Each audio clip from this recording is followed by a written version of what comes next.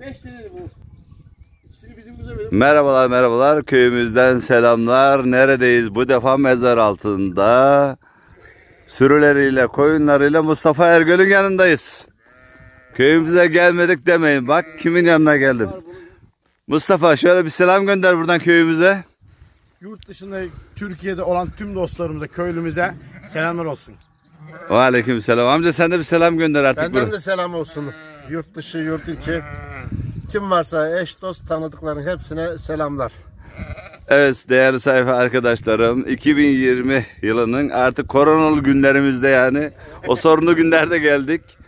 Kabir ziyareti yaptık. Hiçbir şey yok burada. Korona yok bizde. Kabir ziyareti yaptık. Dualar gönderdik sevdiklerimize.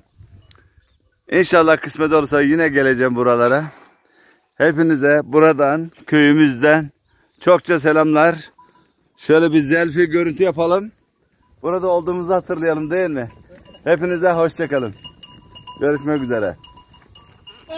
Yavru adam gidiyor.